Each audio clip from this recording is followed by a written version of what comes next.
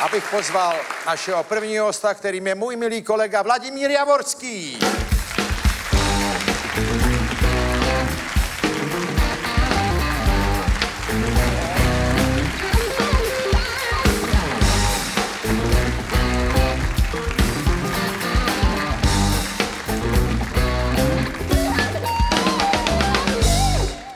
Vladimír Javorský je můj milý kolega, taky jsme se několikrát potkali. Tady v divadle Archa je taky trošku doma, tady z toho dělal víc, že jo?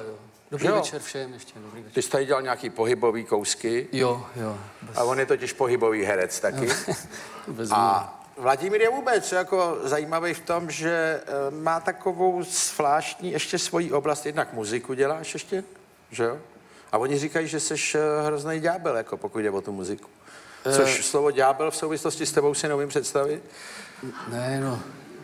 Ne, Občas do mě, občas do mě vstoupí třeba na, na té zkoušce kapely ně, něco a já to neumím říct normálně. Ale to o tom by mohl svědčit i můj syn, že vlastně věci prosté neumím říkat normálně. Normálně? Že, normálně, jako myslím klidně, Jo. že, že tak jako hned ten ohýnek tam nějak zaplane a, a když je to intenzivní jako zpráva, co potřebuji sdělit, tak to sdělím asi většinou. Srší verbou.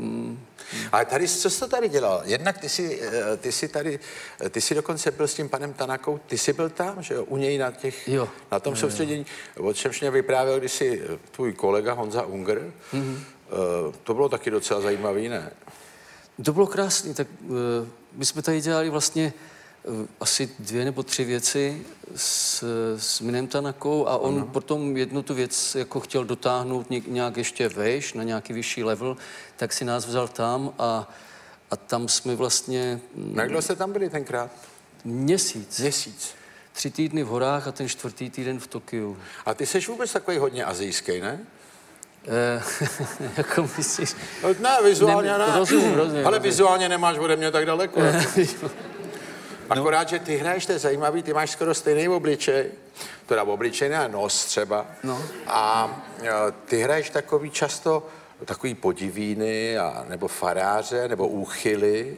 Ale A já ne, já vždycky jsem hrál jednoznačně šmejdy, hajzly, e, jako úchyla, to pro mě už by byla kategorie trošku nahoře, ale já ne, a ty, ty se stejným nosem tě charakterizuje ten obličej úplně jinak, že jo? oni mě ještě asi neodhalili úplně. Na takových jako normálních rolí si hrál taky dost, ale e, víc takových zvláštních, ne? Většinou jsou takový, takový uh, stojící stranou společnosti. No, no, no. Ale přitom musím říct se vší úctou, viděl jsem, jak si hrál Václava v tom Husovi, Jo. a to dělal výborně a velmi pevně a mužně, až jsem se trošku divil, kde se to v tobě bere.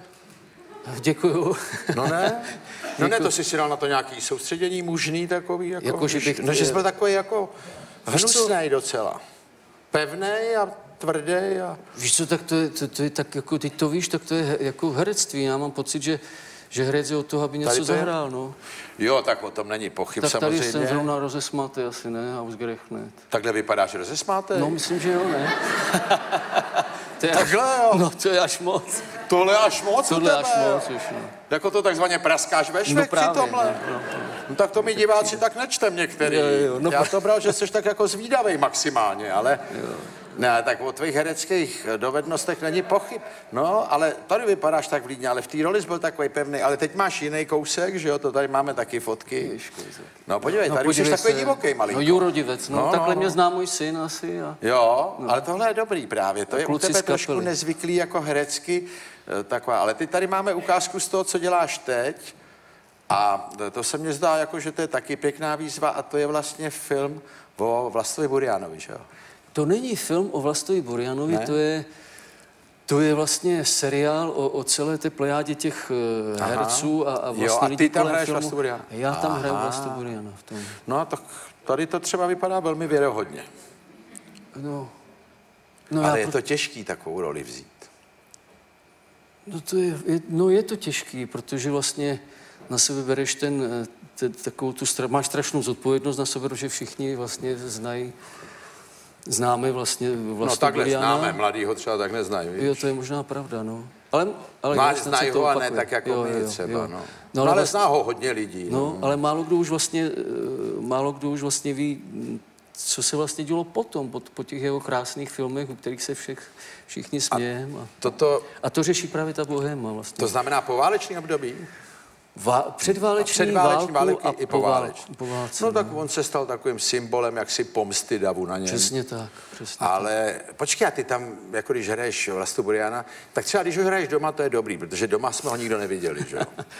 No právě, že to, to mi přijde ještě mnohem těžší. Jo, Hmm, protože vlastně, Proč? no protože všichni ho známe z toho filmu, no. což se vlastně dá ještě s jistou mírou uh, tolerance publika nějak jakoby jako nakamuflovat malinko. No. Ale on doma tak úplně jako velká sranda s ním nebyla. to není nikdy s komikama. No, No, to asi znáš. No, a tak, takže... no tak ne. A, takže ono je to o to těžší, protože vlastně těch soukromých snímků toho Buriana je strašně málo. A Jo, odhadovat vlastně tu přesně polohu. vlastně, no, no, no, no, no, jak moc vlastně byl, jak moc byl utažen jako v sobě. No dobře, ale pak je druhá pravda, hele, tady na herců takových, jako seš ty, kteří mají takové zkušenosti a takovou dovednost moc není, takže kdo by to pak měl dělat? Eh, Spočítal jsi to někdy, v kolika si hrál divadlech třeba? Ne, já, já nejsem, Ne, já no, nejsem chápu, já to taky to, ale řekněme, že v hodně, Dost, dost. I v Národním. jo. Tam jo. ještě dohráváš něco? Tam dohrávám teďko uh, vlastně už jedinou inscenaci a ta se jmenuje Les. Teď jsme zrovna předevčírem měli Dernieru, mé oblíbené zahradní slavnosti. Aha, Tam jsme si zařádili, no a, a, a něco se tam zase bude dít. dít. No to v Národním, v Činoheráku, v Brně, že jo? A do toho ještě s tou kapelou. No, Jak se jmenuje ta kapela? kapela se jmenuje normálně vlastně kapela Míry Kemela No. a zatím nemáme žádné jméno. Já vím, ale ty tam hraješ i zpíváš. Tam hraju a zpívám, no. No a na co hraješ? Člověče vždycky to, na co vlastně, co tak jako zbude, jako aby se tam... Jaký nástroj Aby, no, zůstane protože tam je ležet? výborný kytarista, výborný harmonikář, jo, Tomáš. eh, Míra zpívá ty svoje texty, krásný, a taky zase hraje na harmoniku. A já vlastně jsem se tam tak jako vetřel s tím saxofonem, se kterým jsem, na který mě Bída naučila housti malinko a, a ukulele a tak tluču do bubnu, tu cinknu do nějakých, hraju na balonech třeba. A to zjistíš, až když přijdeš na koncert, jako, nebo si to řeknete předtím těsně? To si, to většinou, ta, to si, ne na zkoušce si to tak jako ohmatám, kam bych, se, jo, kam bych se ještě vešel. A u tebe je zajímavý, ty jsi nechtěl být hercem, vi? Já Jako jsem dítě. nechtěl být herce do, asi do 17 nebo do, no asi tak zhruba do 17 let. To je vidět, že jsi se vyvíjel zdravě, jako. Jo, Normálně, vy? Tak normálně, no. Jsi být geolog, nebo co? Já jsem, já jsem čutal a uh, tak, no a pak se mě zajímaly vždycky kamínky. Jako nejmenší vlastně, původně jsem chtěl být zlatník.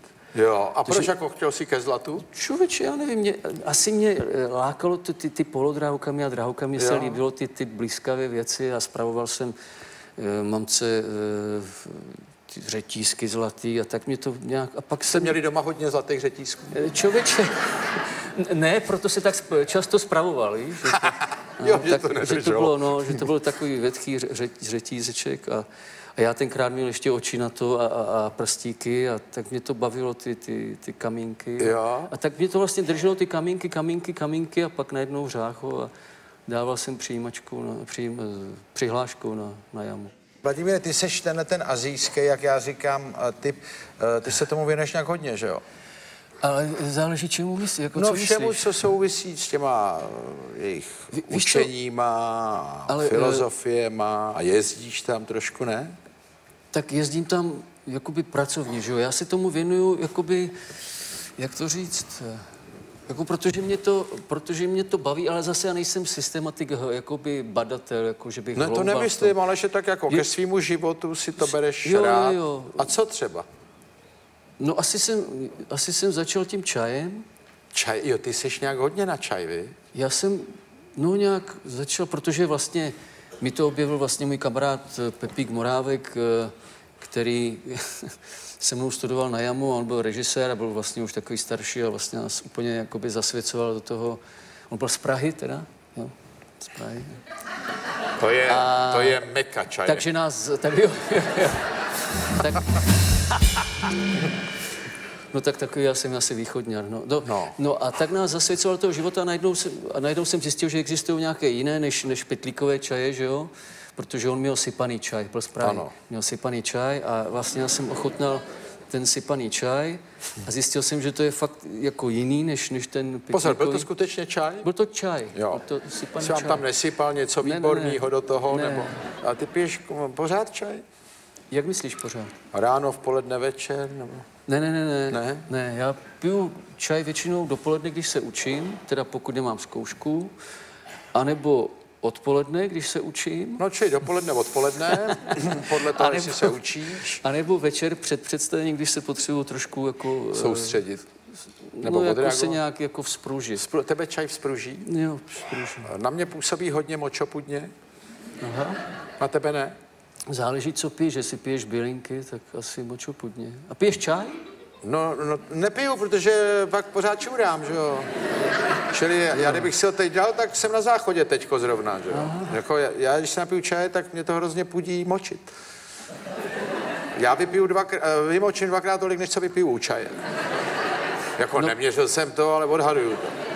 No možná potom má člověk takový ten drive na tom jevišti, nebo mužně, nebo co říkáš, protože asi to potřebuje mít rychle za sebou, tak to dá. Nevím. Jakože ten čaj tě žene. Vpřed.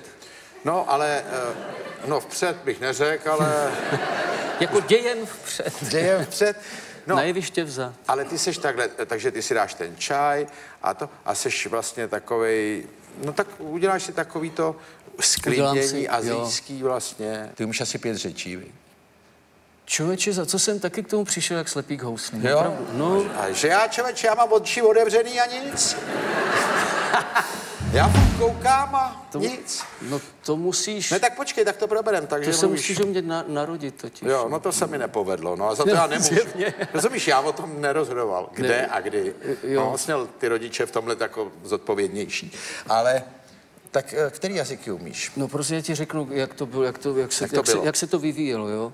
Tak narodil jsem se s, s, tou, s tím, eh, s, tou češtinou. Tam jsme na tom stejně, Jestli můžeš říct, jako, jestli můžu říct čeština vlastně tím, že to bylo v. Ostravě, jo? Můžu. Můžeš. Fajn, je to češtin- samozřejmě s tím, že jsme velkorysí Jo, a děkuju, děkuju moc pěkně. považujeme to za dorozumívací jazyk, jak si... Jo, jo, jo. A já jsem měl teda tenkrát v té Ostravě už jako malý pocit, že vlastně se tam mluví eh, líp česky než, než v Praze. Ano, to děti mají, tomu jo. se říká ostravská porucha. No. Děkuju ti.